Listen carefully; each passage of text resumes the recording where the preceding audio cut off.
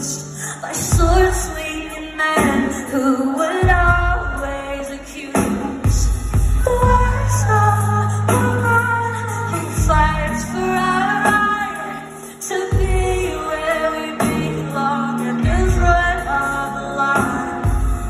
Tired of silence and beyond whole line, he likes turns of shade.